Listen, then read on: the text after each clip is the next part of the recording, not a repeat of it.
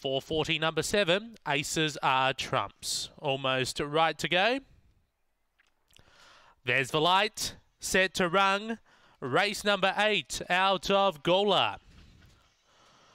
Away, Sutton Prince began well on the inside, is looking for the rail, carving over Aces are Trumps out wide. Oh, copping a check there, Mrs. Missile with Spring Mayfield, but going to the front, Sutton Prince got clear by five over Aces are Trumps. Three lengths away, then closer to Rain with Resurgence, Mrs. Missile, Spring Mayfield. Then we go back to Victor Darrell, Victor Sage. Up to the turn, Sutton Prince on top, still clear by five over Aces are Trumps, closer to Rain Resurgence, but Sutton Prince gets up. Second was either Resurgence or Aces are Trumps. Fourth will be closer to Rain in front of Spring Mayfield, Mrs. Missile, Victor Darrell and Victor Sage. 30 and 84 that time.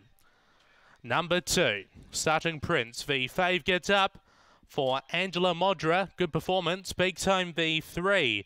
Resurgence for Steve Coates.